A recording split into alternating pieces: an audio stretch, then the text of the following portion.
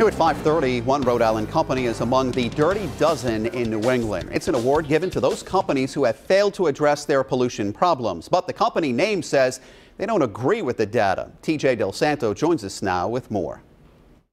The Dirty Dozen, that's the name of a report profiling some of what one environmental group calls New England's worst polluters. And one Rhode Island facility has found itself on that list.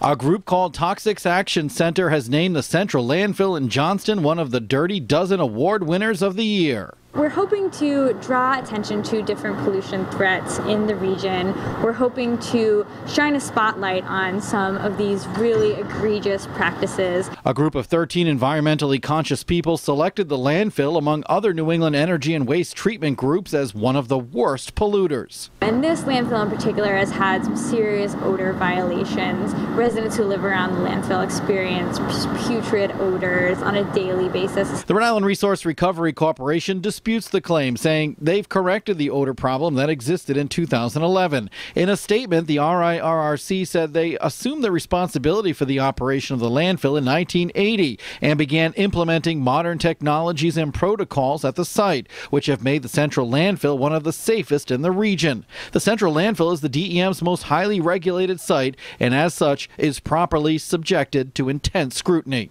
There are small efforts being made. We need to see larger steps being taken right now. Jamie Rhodes of Clean Water Action said we all need to move towards zero waste so the air we breathe and water we drink stays clean. Also on that dirty dozen list, the Brayton Point coal plant in Somerset and the New Bedford PCB dump.